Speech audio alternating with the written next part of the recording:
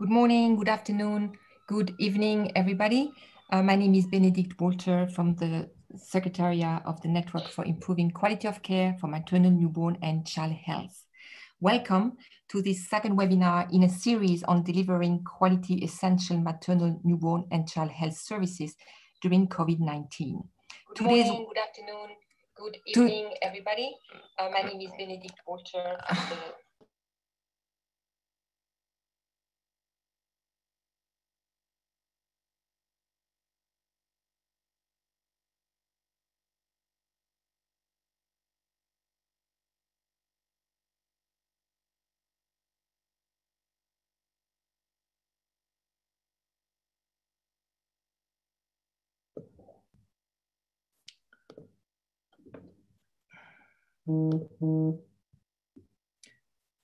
I apologize for that. This was the, the, live on, on YouTube. Welcome to the second webinar in our series on delivering quality essential maternal, newborn and child health services during COVID-19. Today's session is going to be on emergency triage and assessment. The series is co-hosted by the Network for Improving Quality of Care for Maternal, Newborn and Child Health and the QOC subgroup of the Child Health Task Force. In terms of proceedings today, you will see that you are all muted. However, we would like you to engage with the panelists through the chat box at the top uh, right corner, the bottom right corner of your screen. So while we have the, the presentation, which will last about 30 minutes, please type your question and your comments for the panelists. And in the second half of the webinar, we'll be reading out the questions for the panelists to answers, to answer. Please feel free to type all questions. If we do not have the time to answer them all today, we will direct you to a community of practice to continue the discussion, and we hope you will be joining. You can see the link to join in the slide that's currently on your screen. In addition, um, we'll encourage you to please yeah, join the community of practice. Finally, um, we are recording this session. We will also be sending you a link later today with the recording and all the presentation of today's sessions. Um, I'm now handing over to one of today's facilitators, Dr. Blerta Maliqi, who is a technical officer in the Department for Maternal, Newborn, Child and Adolescent Health and Aging at the World Health Organization in Geneva. Blerta, please. Good morning, good afternoon, and good evening. Thank you for joining us in the second webinar on delivering quality essential maternal, newborn, child, and health services during COVID. This is a joint webinar organized between the Network for Improving Quality of Care for Maternal, Newborn, and Child Health. That is a collaboration among 11 countries and over 30 partners who are working together to have maternal, newborn, and child deaths in facilities by 2022 by improving quality of care. And the Child Health Task Force, that is another partnership that is comprised of over 100 organizations, including government agencies, NGOs, multilateral and bilaterals, academic institutions, as well as consultants. Next slide, please. So why quality of care and why quality now? Quality matters, and this is very important to acknowledge, especially in the current context of COVID.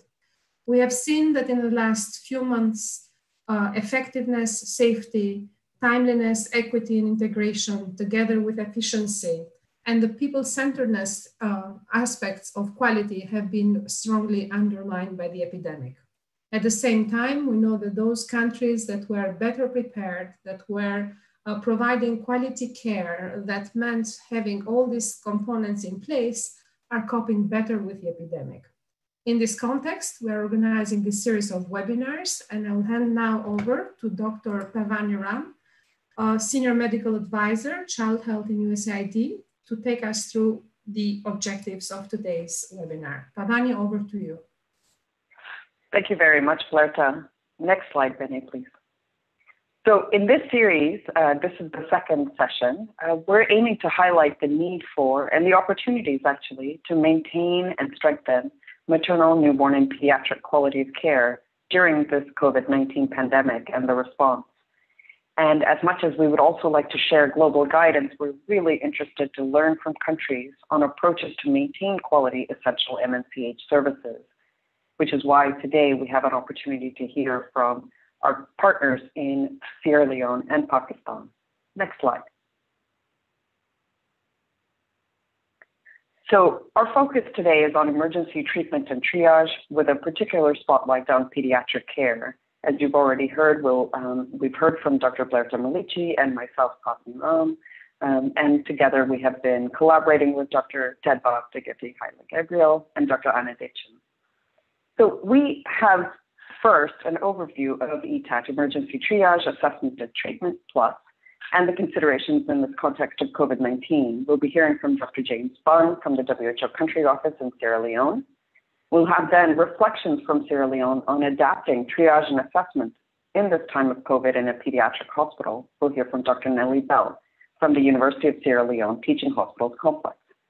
And then we'll move to Pakistan to have some reflections on remodeling pathways to care for children in a hospital setting.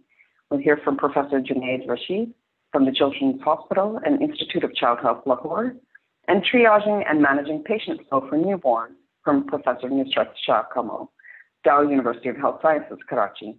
And then we'll end with the Ask the Expert session, during which we'll be able to address your many comments and questions. So please do share your um, comments and questions in the chat box uh, through the presentations, and we look forward to an engaging session. Over to Dr. Bunn. Uh, thank you. Um, I think slides are slightly slow in advancing, so we will um, uh, progress, but people may need to be catching up a little. Um, so I'm going to talk about emergency triage assessment and treatment, plus uh, considerations in the context of COVID-19. Next slide, please. So the aims of ETAT Plus are to reduce neonatal and childhood mortality, improving recognition of the sick child, and reducing time to treatment.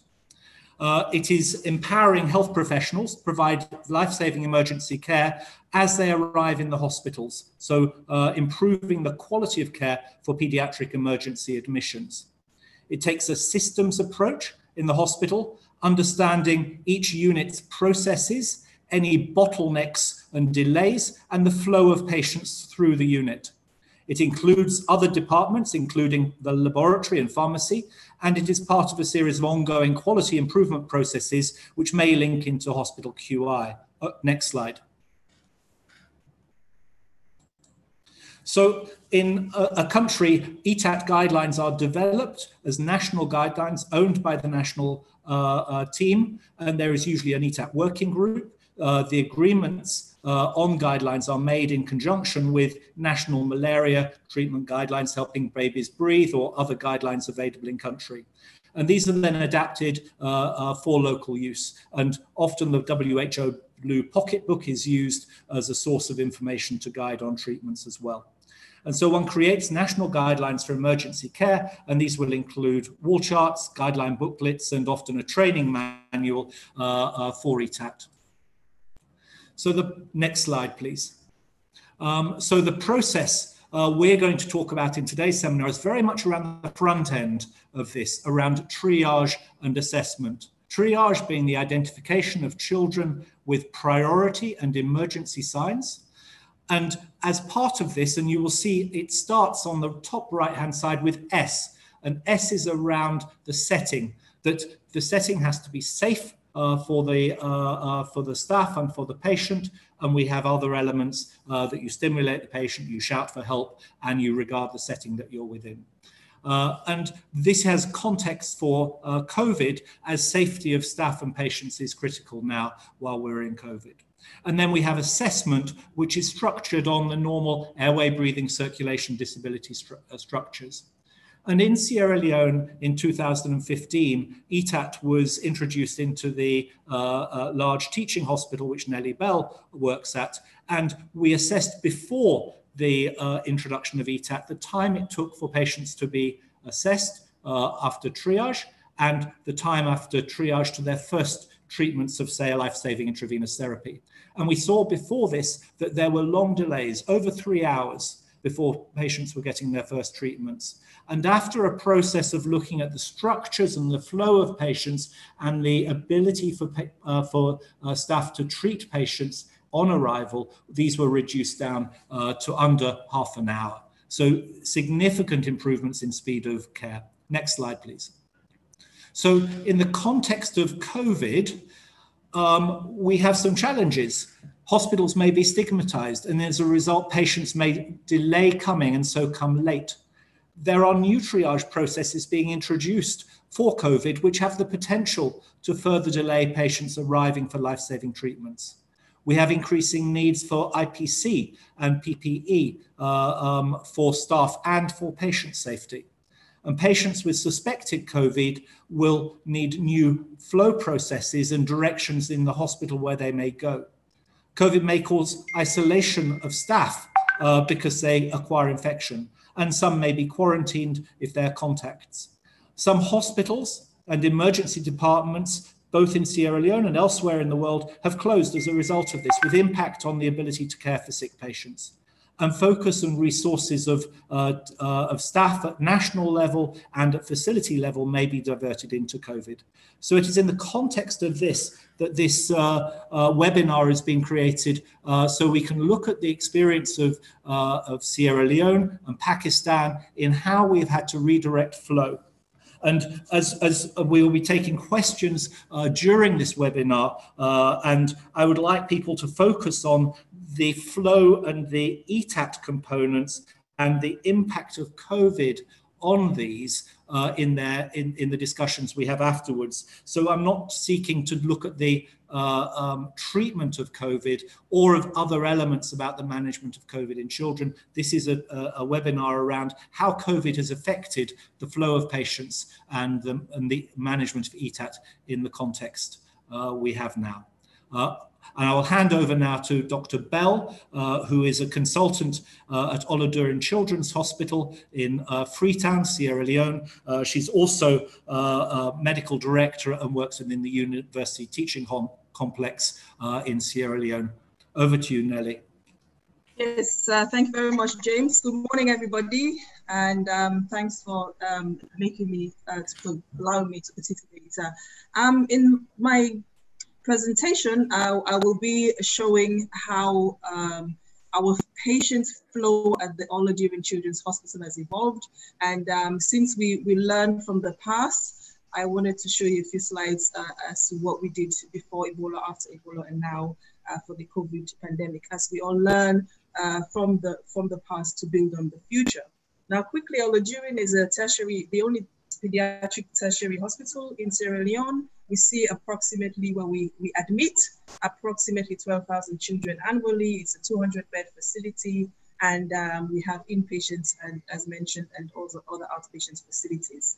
Before Ebola, we had uh, one single entrance to the hospital um, and um, for the patients, staff and everybody. And um, uh, we had all of the wards in the main hospital next to the maternity hospital. However, during Ebola, we had the challenge of the one entrance for all. And so we had patients uh, come with, with Ebola coming into the hospital and infecting the rest of the, the staff at the hospital and the other patients. So we created another entrance by the side. We asked for the land next to the hospital and we created another entrance, which is on the right hand of your screen, um, for the patients. And the patients were then screened for Ebola in this corridor if they were if they showed signs and symptoms of Ebola or met the case definition, they were then taken to the isolation unit, um, as you can see at the top of your screen. With the patients that did not meet the, the, the case management were triaged here and, uh, and screened again. And if they did meet it, they were sent to the isolation unit. And those that did not meet the case management, uh, case definition for Ebola then, were sent to the main hospital all the way down here uh, you can imagine if the patient had emergency signs or priority signs, as uh, James had explained before, taking them all the way to the main hospital uh, was, was very difficult in terms of patient care. And we found out that we lost a lot of patients during that time, which is why we created, um, we went on and created a new emergency room or resource area next to the triage area. So we did the ETAT uh, uh, based triage, ETAT plus based triage, and those patients that met the, the that had emergency signs and priority signs was take, taken straight to the resource area here and managed. And we found out that that improved um, um, uh, patient care and that uh, improved on mortality. Um, James mentioned the study that we did Um, I'm, I'm just showing it again just to just to tell you that, uh, or just to reiterate that it, it takes a complex multidisciplinary effort um, in when there's an outbreak um, for us to have adequate uh, patient care um, and adequate patient flow. So it took a reorganization of processes and systems, including robust training of the of ETAT Plus of the staff um, on on ETAT Plus, especially the nurses who are there um, and uh, uh, um, at the front line and, and also the doctors. In 2019, quickly we found out though, however, that this wasn't working anymore. On your right bottom screen, you see the at the beginning, the couches were all nice and new and the makeshift area was nice and clean. However, in 2019, it was all um, uh, dilapidated. It was not a conducive um, atmosphere for the staff and for the patients. So we decided to, to move back to the main hospital, move the emergency room back to the main hospital and create an entrance here. So the patient entrance was still the same. We did the, the ETATS triage here. Those that met the case, case definition were taken into the hospital. And we had a two bed small um, isolation unit here. Uh, so we were quite proud of ourselves and we were happy. However, um, as you can see here, the beds are quite close to each other. So this was the new emergency department. The beds are quite close to each other. And uh, for the next step, which was uh, the next uh, um, uh, pandemic or the next uh, problem facing us was is the COVID in 2020. So we had to change that um, all over again. So what did we do? In February, we started with um, with the COVID-19 force, uh, COVID-19 task force, as I mentioned, we needed a complex multidisciplinary effort.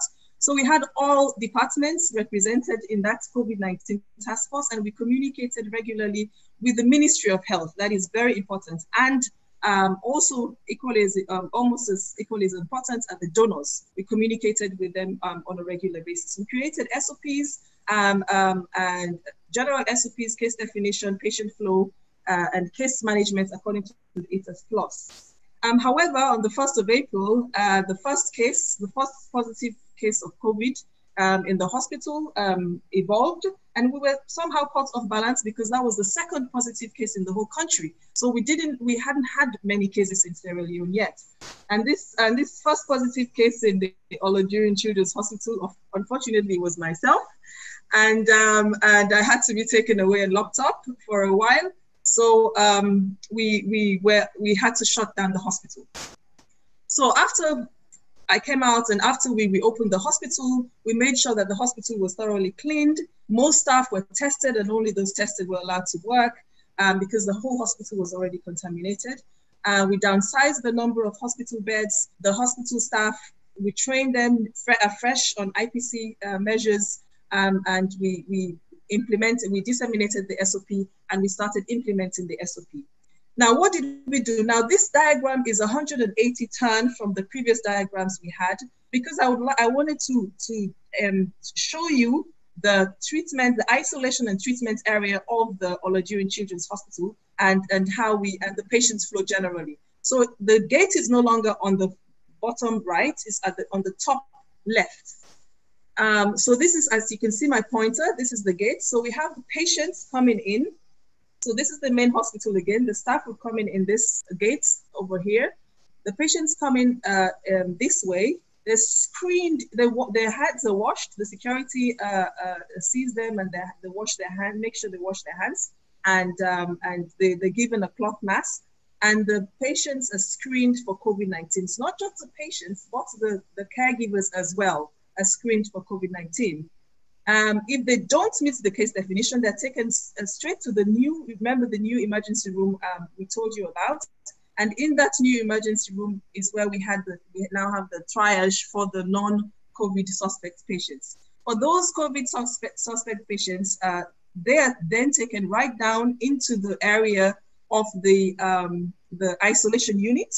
Um, and there again, we um, we, we created a triage area and registration area. So this triage, is, as, as I mentioned before, is all ETAT triage, and the nurses are all very well trained in that. And then we have an emergency couch here, uh, just in case uh, we had the, the patient had emergency signs that we have to stabilize before taking into the units. So we have three areas, one, uh, two for suspected cases and one for confirmed cases. So when they're tested positive, So when they brought in, they tested quickly, and we actually get a, a, good turnover of the of the test, 24 to 36 hours. We receive the results, and when they're confirmed positive, they're taken to this area. For critical patients, they stay here. For non-critical patients, they're taken to another area where they can be managed. So in terms of compartmentalization, um, we decided to compartmentalize the whole hospital.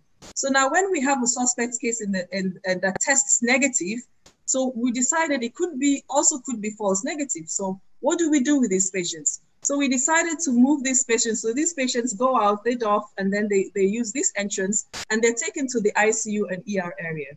Those that are non-COVID uh, suspect patients in the first place are then taken to the step down area, to the to ward three area, and to the malnutrition unit. The malnutrition unit will, however, contain patients that have been tested negative and also patients that um, are coming from the, the um, resource area. However, um, we, we, we, compartmentalize the malnutrition units as well so that one area is for patients coming from the, the, the isolation unit and um, the other areas of patients coming from the resource area. So in other words, all patients coming from the resource who were not suspect cases in the first place are taken to these wards. All patients um, that, are, that were originally suspect cases but what turned out negative, they have respiratory signs. they're then, when uh, moved from the isolation unit, are taken to the ER and ICU area. So they're not mixed with those patients taken to the step down or ER and ICU. For the special care baby units, um, just quickly, um, the, the babies from the from the inborn from the maternity hospital are taken if, if I go back to the slide, from the maternity hospital are taken to the special care baby unit directly where they're triaged. Um, for the outborn, they are triaged or, or, or screened already um, in the main entrance and taken to, S, to the special care baby units. So inborn screened in the unit or, or outside of just outside of the unit, but outborn are already screened um, at the gates. So for COVID positive patients, they're taken to the treatment center or to the confirmed area and when they're negative uh, twice, they're sent home or they're taken to the ERIC area.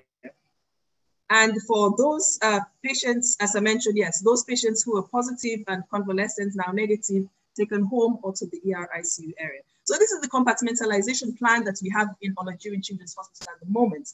So for the doctors, for instance, we have teams. We have five different teams. These doctors, um, each team has a, a doctor's room and each room is well, well equipped and well furnished to make them comfortable with microwaves and fridges and everything, to make them comfortable so that they do not move to other areas of the hospital. So basically, if one doctor in this team uh, becomes positive, only that team we might be able to say, you stay at home, you uh, um, uh, quarantine yourself. However, the other doctors can continue working. It's the same with the nurses. However, it's, it's, it's, it's, it's more strict with the nurses, stricter with the nurses because they stay in each and every ward. So the nurses at the malnutrition ward, they stay there. They do not move to other wards. They do not move around. Same for the cleaners. There, there, there's no movement in between wards. They have to stay in their areas. With the pharmacists and lab technicians, it's a bit difficult because we do not have many. And, and, and so they sometimes have to move in between um, uh, bubbles and departments. So just to show you quickly how we try to implement it, you can see that these nurses are all wearing different colored hats. So we have the brown hat, the purple hat, the wine hat, the peach hat, and we also have the blue hats for those working in the isolation unit. So this is how we have decided to, to identify the nurses so that the compartmentalization uh, can be visual so if you're wearing a purple hat, you do not go into an area where the nurses are wearing a blue hat because uh, all the other nurses will shout at you.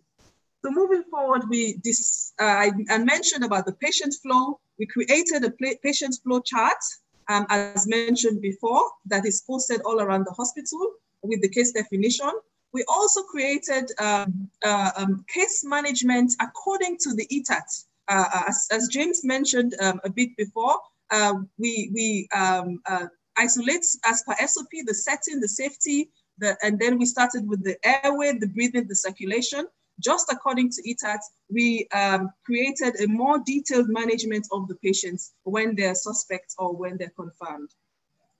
Now, for the general SOP, we, we, we spoke about robust screening of all patients, strict adherence to compartmentalization, wearing of surgical masks if doing patient care, and wearing of cloth masks if not doing patient care, wearing of light PPE, uh, yes, and cloth mask when, when going home, uh, wearing a full PPE and the N95 mask when in the isolation units, washing of hands regularly, social distancing, um, and, and the, the case management protocol according to the ETAT. So in conclusion, lessons learned from Ebola is that you know changing the flow, patient's flow is a complex multidisciplinary effort uh, uh, that, that is required and which is what we implemented in this COVID uh, uh response, COVID pandemic response.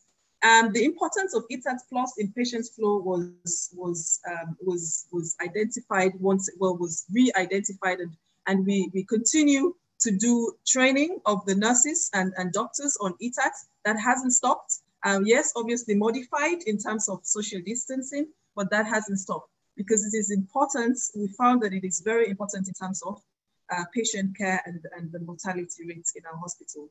So we're caught off guard, as I mentioned. Uh, so we had to do a robust reorganization of the hospital, and um, we had to recreate the isolation units that we used in, in, in Ebola, and we we swift we swift uh, changed over to becoming a treatment unit because of the critical patients. They couldn't be sent anywhere else, and um, and as I mentioned, we continued the ETAT courses and the undergraduate and postgraduate academic meetings via Zoom. Um, this is a, a, a quick run through of Ola During Children's Hospital and what we um, we did in terms of patients flow and ETAT Plus. I will now, I thank you all for listening and I will now hand over to Professor Junaid Rashid, who is a pediatrician and Dean of the Children's Hospital of Lahore in Pakistan. Professor Junaid, over to you. Uh, thank you very much, uh, Nelly, for such a nice talk and uh, it was pretty elaborating and it was pretty uh, knowledgeable for us as well. And uh, now I will, my, my topic of uh, discussion is a little next level. I work in Children's Hospital Lahore, which is 1180 bedded tertiary care hospital with all sorts of specialities, pediatric cardiology, endocrinology, nephrology, neurology, gastroenterology, surgery, and whatnot. And we have sorry, referred Dr. cases Dr. from all over Dr. Pakistan. Dr. Junaid, sorry, can you make it full screen so we can see your slides properly? Sure, sure, why not? Why not? Why not? Thank you can you. you. Can you, yeah, thank you. So we have been struck very uh, uh, like quickly with pandemic. Right now we have 188,000 cases in Pakistan, out of which 6% are children from 0 to 15 years. And uh, in our hospital in Punjab, which is one of the provinces, and it's a huge hospital, we had we were declared as a treatment center for all sorts of sick patients coming with COVID, and that definitely affected the patient inflow from other sort of non-communicable diseases and, and non-COVID problems. Now, this is the main uh, plan in our hospital. Uh, this is the main emergency triage counter. We have emergency medical officers, and they assess the patient to be shifted to a pediatric medical emergency or a pediatric surgical emergency, and there can be an interchange. And we also invite the specialists. Uh, let me tell you that we have round the clock consultants available in the emergency. Fully qualified consultants 24 7 are available in the emergency triage area, and postgraduate residents are handling. We've got around 400 postgraduate residents in our hospital. So there are specialities as well from where we request for a call for any patient coming to our hospital. And there can be four outcomes, a discharge, a short stay, an indoor admission, or an ICU admission. Now, obviously, same is true for the neonatology as well. We do not have a maternity hospital attached, but we have a large number of outborn children coming to our neonatology, and we have an indoor and an ICU there. And COVID obviously has been added as another component of triage in our hospital uh, because of a large number of cases in Pakistan. Now, straight away, you know, in each act, initially there were four main bulks of like sick patients, somebody coming with an airway obstruction or an altered consciousness or a severe dehydration or a circulatory collapse.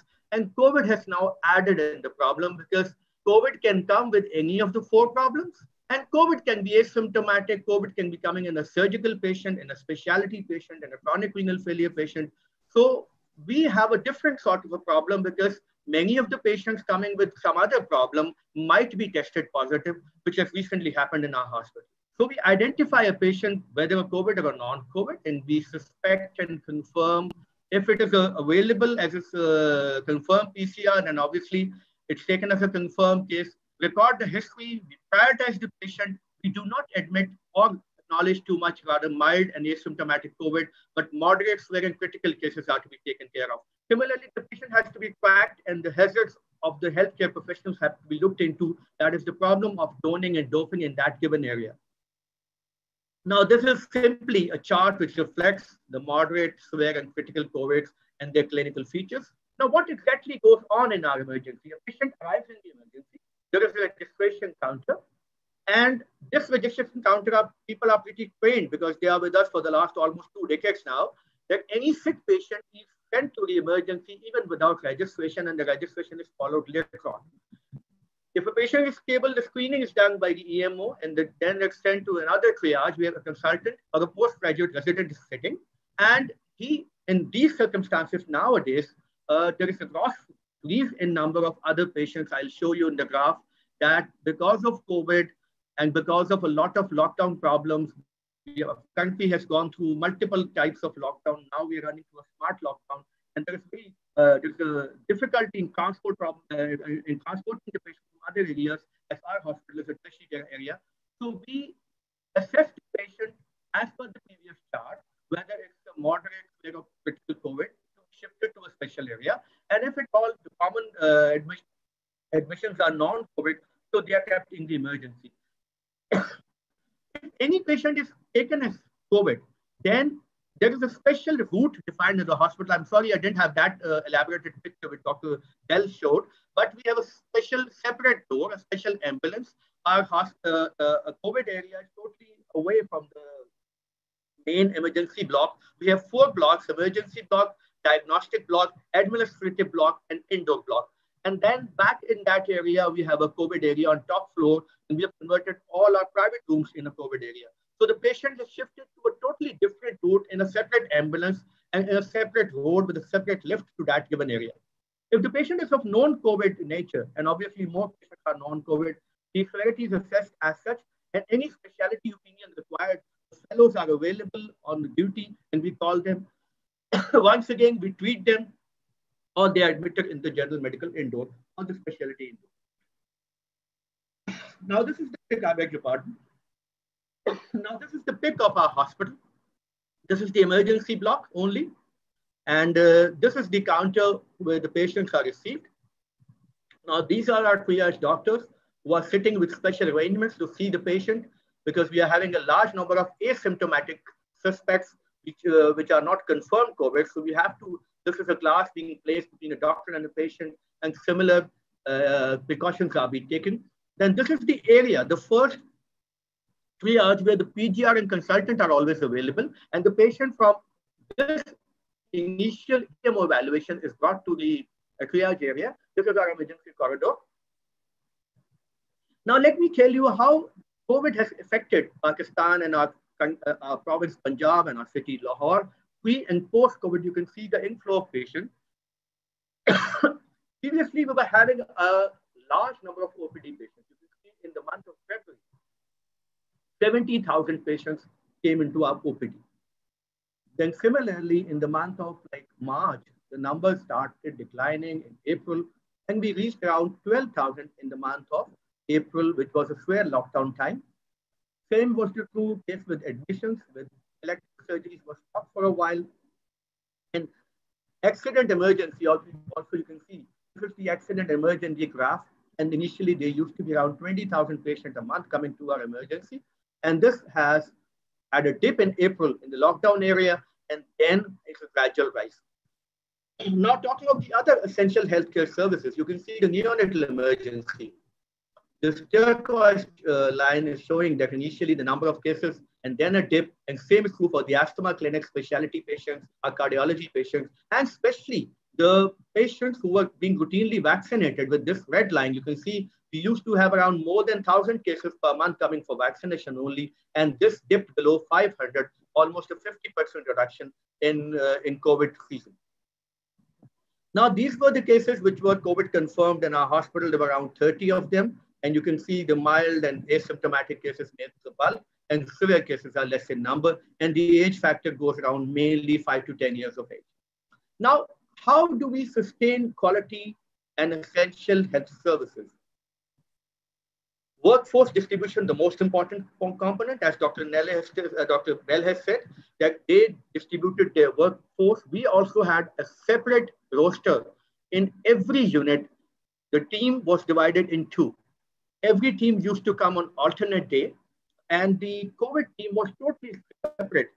They have a separate entrance, and they have a separate sort of a. Uh, they do not come in contact with any hospital personnel unless they go out of the hospital. Now here we have a problem because ours is a teaching hospital, and we have hundreds of postgraduate both uh, uh, uh, doing post-graduation in multiple specialties in our hospital.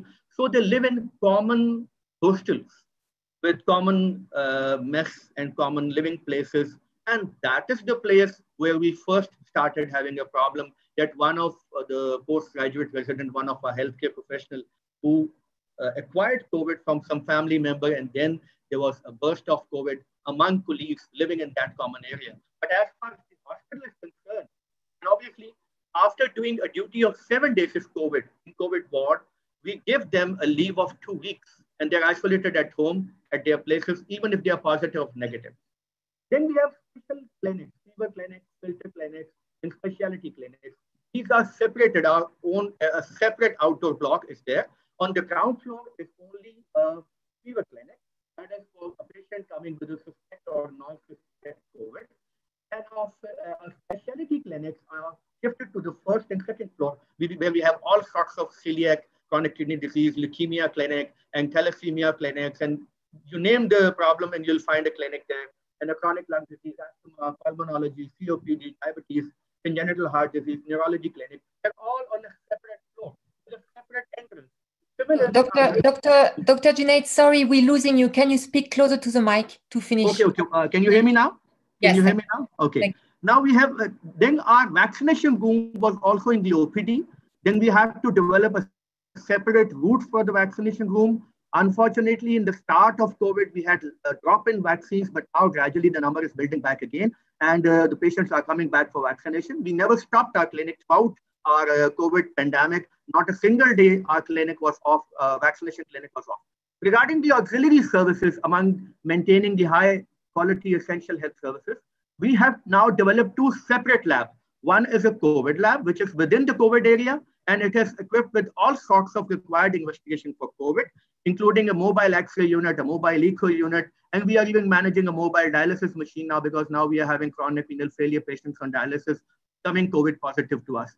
Similarly, we have a separate radiology service plan, CT and MRI, although there is one CT and one MRI in the hospital, but the SOPs have been uh, managed in order to, first of all, we decide whether or not to go for a uh, specific investigation of radiology. And if at all it is required, it is done in full sort of like SOPs.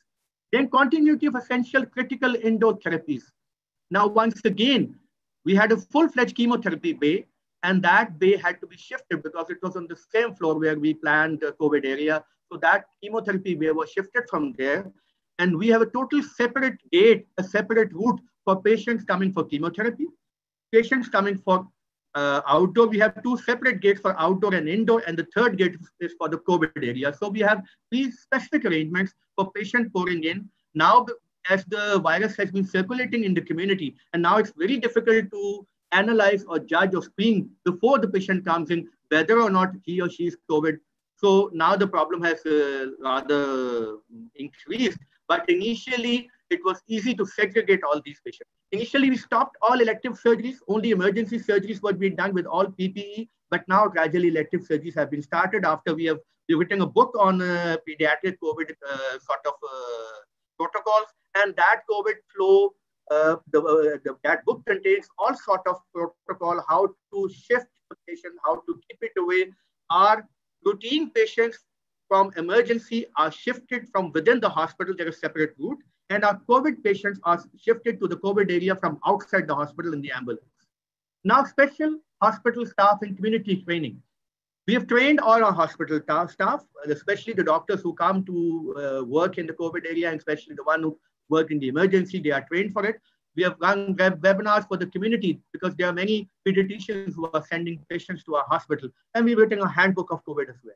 Now our dengue, Pakistan was struck hard by dengue last year as well.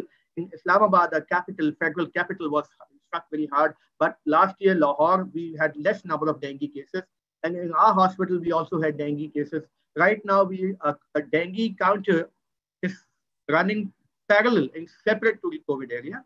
And similarly, regarding diagnosis of other diseases, for example, tuberculosis, uh, and uh, like uh, their clinics are also away from the COVID area. They're a separate floor. So right now, the flow of patients, I'm telling, I just repeat to summarize, there are four blocks, emergency, OPD, indoor, admin.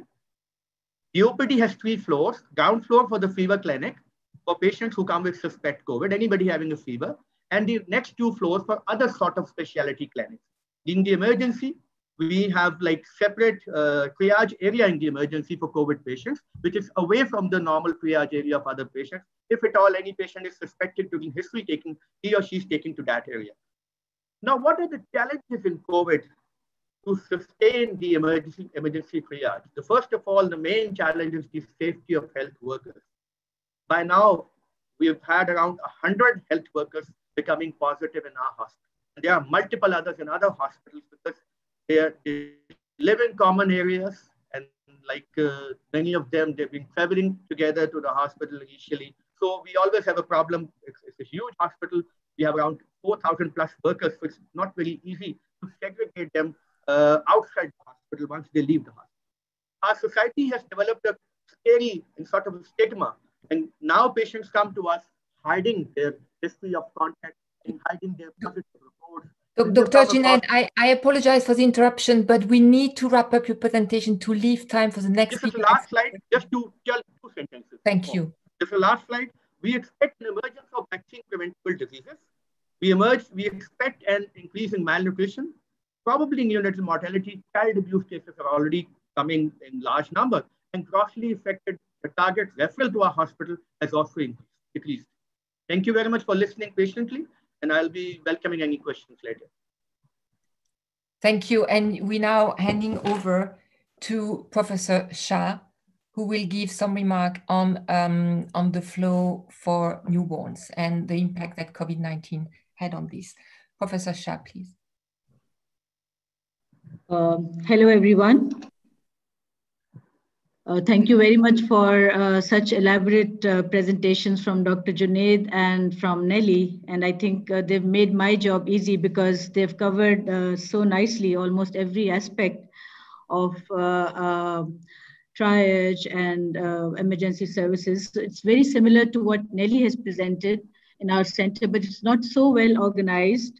And basically, um, we have also designated seven, I'm just talking about the OBGYN departments in my uh, tertiary hospital and in other tertiary hospitals, the situation is quite similar. So we have tried to designate separate areas in our emergency for the COVID if we get a COVID positive diagnosed case. Otherwise, then we have to screen and then we have to send the test, which is a very difficult, I'll talk about it a little bit later that uh, testing a patient has become a very uh, bad nightmare for all of us so um, separate areas for COVID patients in the ER and in the labor room also, we have designated uh, separate beds, uh, uh, separate tables for the uh, laboring patients. And then after uh, delivery, when we shift the patient to the ward, again, we have a separate ward for the COVID and where the, those patients are kept. And then they are discharged very early rather than kept for 24 hours. We usually discharge them in 12 hours. So um, uh, basically, in OPD also, most of the time, the patients are not coming uh, with a diagnosis of COVID. So that's the difficult part, although we are trying to do social distancing, but the kind of rush that we have, uh, uh it's quite difficult to do social distancing also. And uh, like Dr. Junaid said, the flow of patients has reduced very significantly, particularly during the lockdown, our flow of patients, antenatal patients, uh, decreased to more than 50%. And uh, even now the flow is uh, somewhat less than its usual flow. And similarly, in our pediatric emergency, the flow of patients has reduced to one third during lockdowns.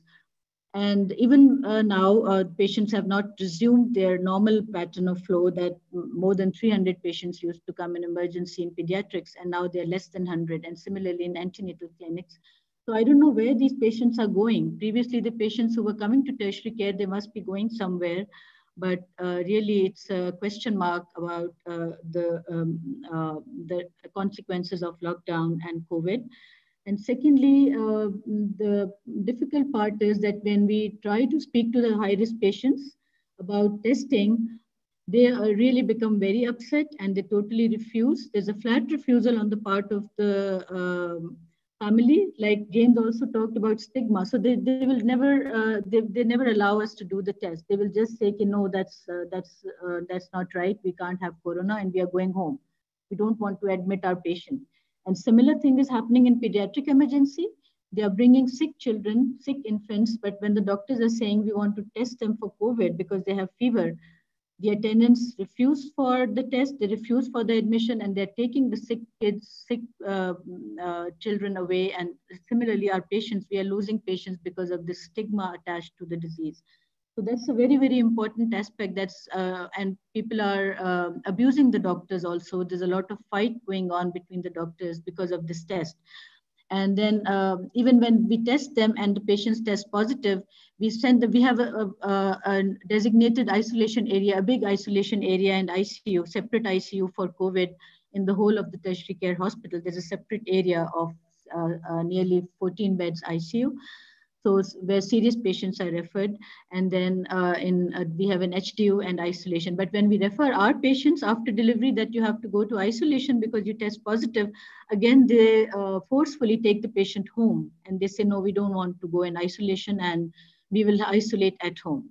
So that is a big issue and that's a big problem that how do we uh, make the public aware about the uh, benefits of isolation and the benefits of the test basically about safety of their family because the scare is and the uh, feeling is that uh, the whole family will be taken away by the government into the isolation and they will not be allowed to meet their patients and um, so they that's the reason that they give for uh, they said no uh, we can't have corona and it's all uh, conspiracy of doctors and the government that they have created this corona thing and we don't believe in corona so uh, uh, those are the dilemmas that we are facing, and I I would like to discuss how to go about it, how to create this awareness through media or through social media, and how to go about it. Thank you very much. Uh, thank you very much, Professor Shah and uh, uh, Professor Junaid and Dr. Nellie Bell. Um, we're getting quite a lot of questions coming through from the chat, and a number of the early ones related to uh, whether we had cases who were negative, who then were found to be positive on the general wards. And, uh, uh, and certainly we have seen in Sierra Leone uh, patient, adult patients uh, who are admitted on a normal ward and then who prove positive. Uh, and that is a challenge uh, for uh, uh, for the healthcare workers who'll be caring for those and how you manage that. Um, there is also a question about parents who are. And I, I note that we've had actually very few cases who have been diagnosed with COVID in the hospitals admitted with a, a COVID-like illness. I think 30 in uh, in Lahore and seven in in Sierra Leone. In countries where there are 175,000 uh, cases in uh, uh in Pakistan, so we would expect far larger proportions of the children possibly to have COVID, many of whom may be asymptomatic and therefore undiagnosed on the wards. And I wondered, Dr. Bell, if you would like to comment about how you uh, manage that, because you spoke about compartmentalization and bubbles for your staff. And I know that the hospital closed for a period uh, because of potential infection from patients to staff, but possibly more importantly, between staff. Would you like to make comment on that? Nellie. Yes, um, uh, James, thank you very much. So the the reason, uh, the the original reason why we had to shut down was because there was so much uh, infection in the hospital, so many positive, COVID positive uh, cases, and um, so uh, obviously there was cross infection going on amongst the staff, maybe originating from a from a patient, and um, and that that actually came out only when the first case from the hospital became positive, and then we started doing mass testing so that is that is when we actually found out that all of these cases were positive. Now, um, um, in terms of the patients in infecting the, so that was before we did the the the masking, masking up before we, we, we finished training the IPC. So now that has all, all changed. We've done the tra IPC training. We've, we've provided masks for the, for the staff and uh, we, we, we, we, we've done this, this bubbling, this compartmentalization, and that has, that has greatly improved um, our management. So now um, the question was um, if, if, if, if, for instance, the doctor gets, uh, becomes positive, I mentioned that as well. Um, yes, he, he or she will be in his bubble or in her bubble, and only those in that bubble will have to be quarantined, and the rest of them will, and the rest of the doctors will not have to be quarantined. And these bubbles are made up of about six, five, six doctors. So it's not a huge number. So um, that way the, the staff cannot infect each other. But masking, we're very strict with masks and social distancing in the hospital of staff in the hospital and of patients as well in the hospital. So that prevents the cross, uh, rapid cross infection. Over.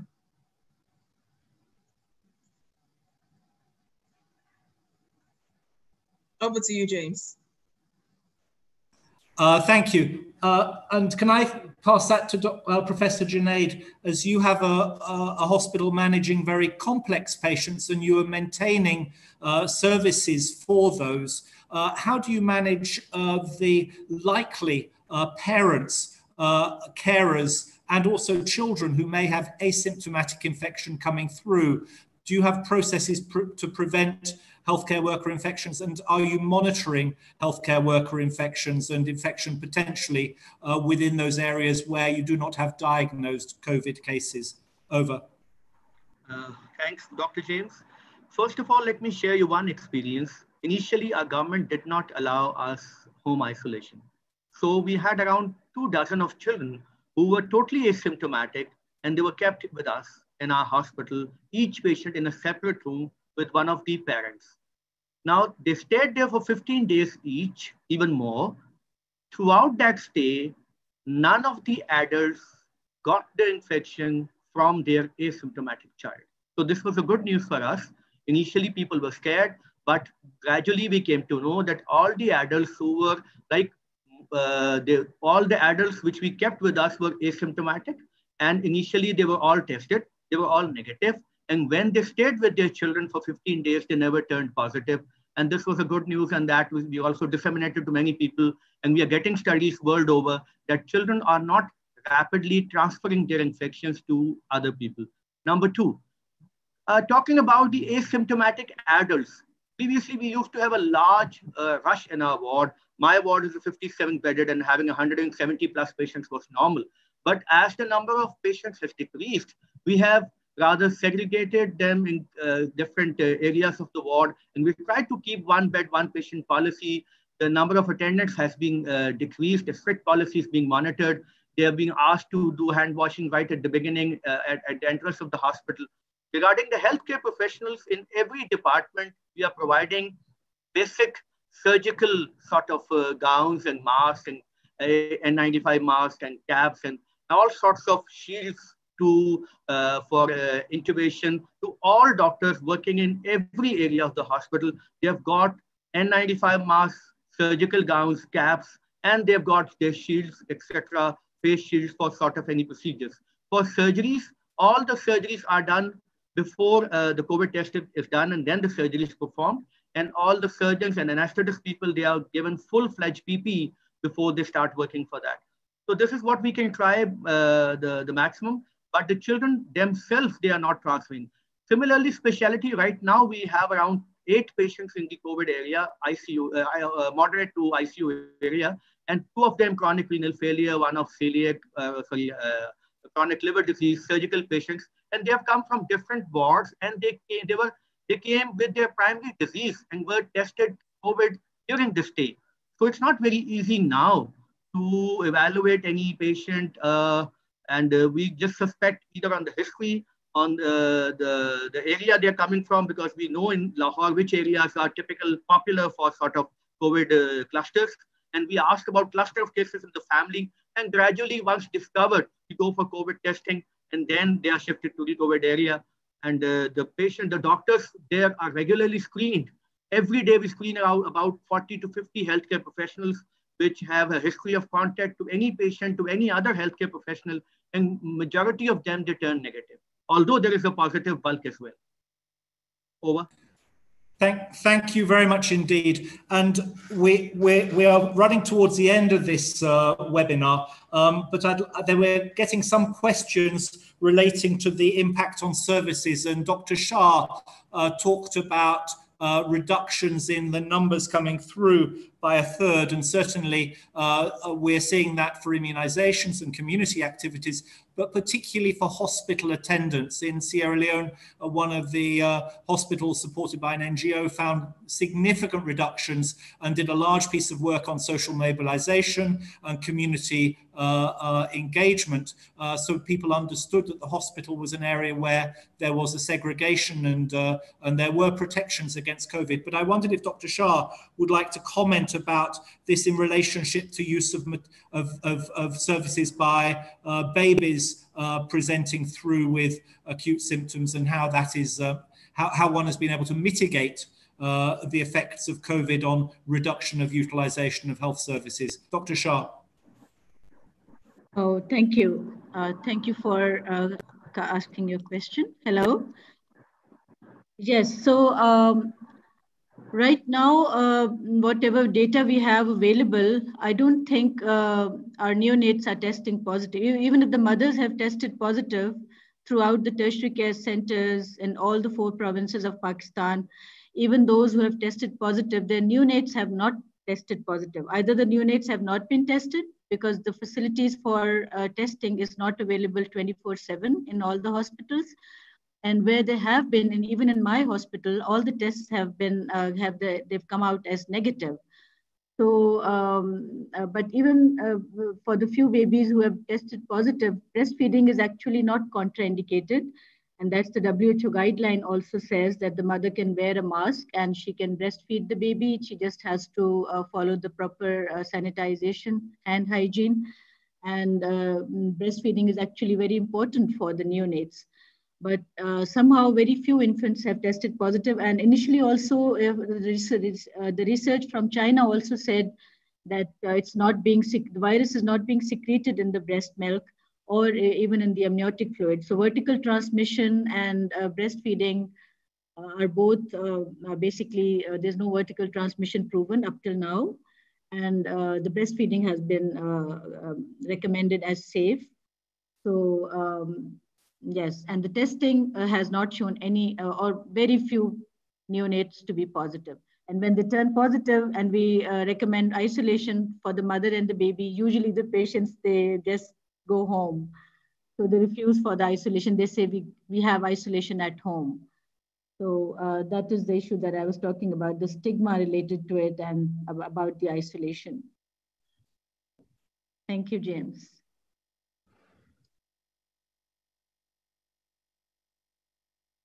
Thank you very much, Dr. Shah. I think we will be finishing here and I will let Bene close. Uh, but there was a comment which was made earlier about uh, patients refusing to have a test. And I think that will be a challenging uh, uh issue unless they self discharge, which is clearly not in the child's interests. Uh, as we then will have a group of patients who uh, I assume will be held in isolation uh, during treatment rather than being able to be sent to a, a ward where they're defined as COVID positive or negative, uh, as it would be unreasonable to put them into a red zone COVID positive area. But I will leave that until uh, uh the community of practice questions, which I think Bene will feed back to us now. Over. Thank you. Thank you, James. Thank you very much to all our panelists. Quickly to close this session today, um, I would like to guide you, to direct you to two resources uh, to continue the discussion. You will see the quick links here. You will also receive all this information later today uh, in a link with the PowerPoints and the recording. So two, two guidance that are relevant to the discussion. Also, um, way to stay engaged uh, with the discussion. One of them being to check the next webinar in, in this series on 9th of July will, will be on quality maternal care. To join the community of practice, uh, again, you will get this link today in the link that we'll be sharing you and uh, to also join the Child Health Task Force at the, the URL that is also linked here. You will have all this information in details uh, in, one, in one email this afternoon. Again, I would like to thank everybody for their time and our fantastic panelists today for how much they managed to share in such a brief time. Thank you very much, everyone. Thank you. Thank you.